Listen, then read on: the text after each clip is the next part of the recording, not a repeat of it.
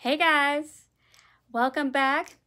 I've got um, my three yard quilt that I've been working on. So if you've been following along and watching part one and two, I was going to do part three today. And then I realized that I screwed up. So if you're new here, welcome. Sorry that this may be your first video you've seen of mine that was a screw up, but I'm going to show you how to fix it. So this is just goes along with sewing. So if you are new to sewing, don't worry, I've been sewing. I'm now 46. I've been sewing since I was in middle school, and you will continue to screw up. but the key is to not give up and to learn how to fix it. So I just got into quilting a couple years ago. I really love it. I never thought I would, but my favorite books are these three-yard quilts. So I was doing a little sewing along, and I just hadn't had time to get back to do part three. And then I started looking at it and someone had made a comment. I'm like, she's like, I think you picked up the wrong fabric. And I'm like, I don't know if I did or not. So now that I'm sitting here looking at it, I sure did. so I'm going to share with you my screw up. Um, so if you mess up, you can feel like me. but it's not the end of the world. I can fix this. I am going to have to probably go get some more fabric, which thankfully I got at Joann's and I'm pretty sure they probably still have it. And if not, it's not the end of the world. This isn't going to totally. So this is the block that I made. And I am now realizing I picked up, um, I didn't have my, I wasn't paying attention to which was fabric one, two, or three. So this block right here is supposed to be this fabric right here. So this block is supposed, this is the correct block. This is the wrong block. So now what I'm going to have to do and what I will show you, no, I'm not going to start crying even though I probably should.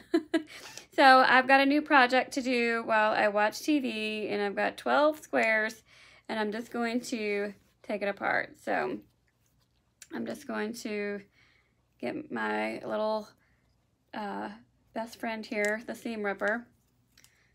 So if you've done any sewing whatsoever, the first tool you need to have and that you will always need to have is a seam ripper. So I'm going to take this out. I'll show you. We'll redo one. Because I kept, then I was uh, ready to move on to the quilt assembly step that I was going to do with you guys. And then I realized, oh, I did this wrong. So um, we're going to be, we are, this is three yard quilt part three, fixing my screw up. so go ahead and laugh, it's fine. Let me see if I can get this apart. I'll show you just, so we're just taking this apart carefully, you know, and especially if you have a new seam ripper, just be really careful because they are super sharp when you get a brand new one. I probably need a new one.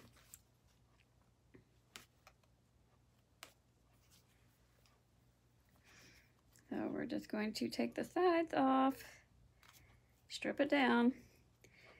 So the blue polka dot, oops, is, I'm going to have to go, I might be able to piece this together. I'm going to see what it looks like because, um, so what this actually, was going to be used for was the border. Um, is that navy polka dot. So get this undone. So I'm just taking this apart just very carefully like this. And you just want to, I'm going to show you right here, I'm just trying to break these stitches right there. And you can kind of just get your seam ripper, pluck it, and then it'll pull a couple apart.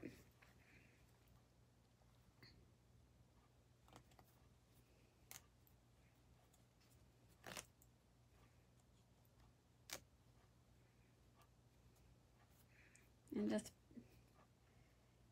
so it's not the end of the world.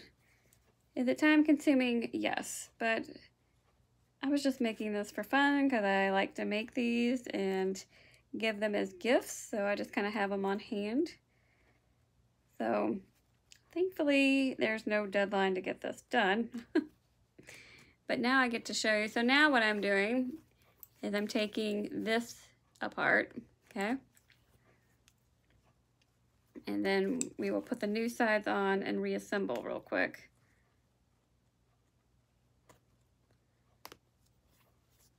And again, I'm just doing the three yard quilt, which is kind of like a lap size. So I only have 12 squares, so it's not like I had a big um, queen size or anything where I'd really screwed it up. But, you know, things happen. So let me get this. So now I'm stripping it down because this is our base And I had to go back. I was like, I don't know how I did that, but someone did notice it. I just hadn't had time to sit down and look at it. That's when I need you all. like, no, don't do that.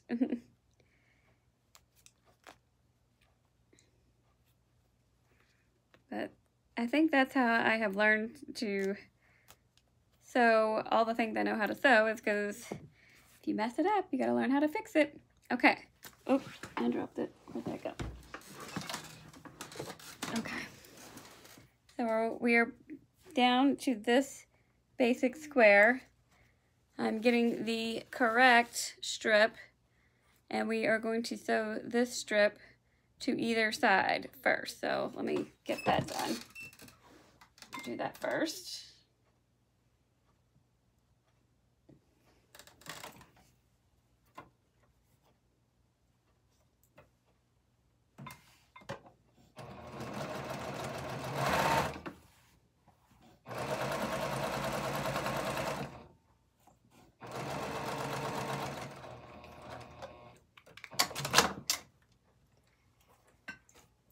So we sew it to this and then we just want to cut this off even and straight. So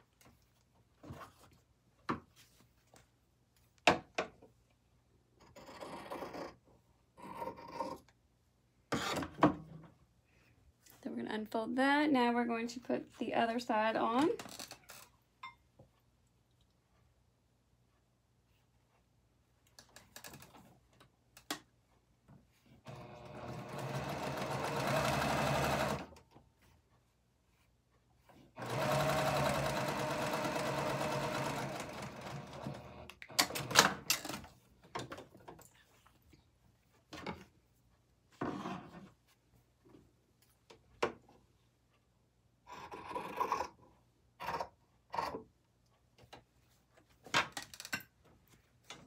Okay. Now we have, and I'm going to stitch this, this came undone a little bit, but we have these two pieces. So we're going to sew one with this at the top, and then you do the other side opposite. So let me get this block put back together, and we'll get this square situated again, and we'll be back in business, and then I'll keep working on the other ones.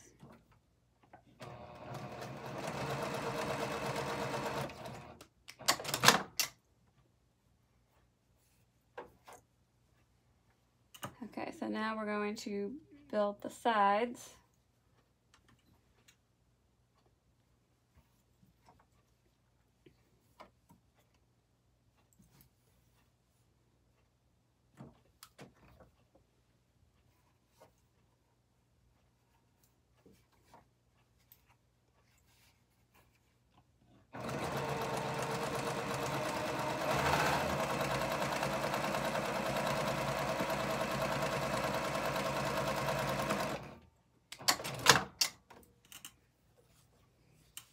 That. So now that we have the yellow up here, this side, the instructions, we want the yellow down here.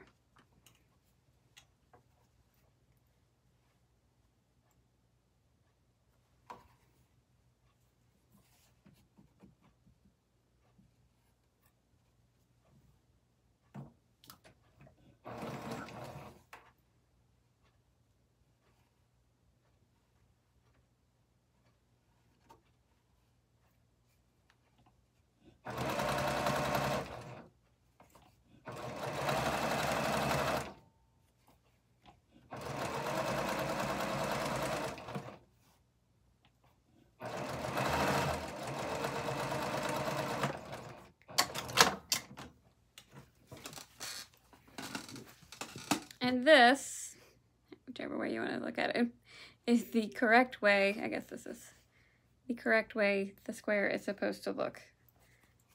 Not like this. So now I'm going to go and fix all these. and then we will work on the quilt assembly video number four. So I too make mistakes and spend a lot of quality time with my good old seam ripper. Um, but as long as you know how to fix things and just take the time, um, probably when I was back in middle school or high school when I was uh, learning to sew, there are many projects I didn't know how to fix and they went in the trash and I just started over. I know how to fix this. It's not a big deal. So I'm going to, and we will get it uh, put back together. Just be a slight delay in videos. So thanks for joining me. I hope you got a good laugh. Maybe you can relate. Um, usually if I um, do any late night sewing, that's when things go haywire. So I don't do a lot of late night sewing because I've learned from my mistakes that when I'm tired, then that's when things get screwed up and I just need to stop. But unfortunately, I wasn't even tired. I was probably just trying to focus on doing a video and just grab the wrong fabric and cut it, but it's not the end of the world. So just keep that in mind. But Thanks for joining me. If you're new here, be sure to hit that subscribe button or hit the little bell icon and get notified for our next videos. I'm going to go and get the rest of these um, fixed up, so look for my next step video um, maybe next week as I prep the new, the new square so that we can put the quilt together correctly and it looks correct. So, but anyway, be sure to check out these books. They are available on Amazon. I'll put a link to them, um, these uh, three-yard quilts. Um, I'm going to be getting some to sell on my website as well because I absolutely love them. And um, check them out because on the back, these are all the patterns. So you get multiple um, patterns on here, eight patterns. Um, but they're just really fun and quick and easy, you know, for beginners. And you do have to pay attention because this is my first one. I've made many of these and this is the first one I switched the fabric. So just wanted to share with you. It happens. But anyway, I hope you guys have a great day. I'm going to get back to uh, fixing my squares, and I'll see you in the next video. Bye.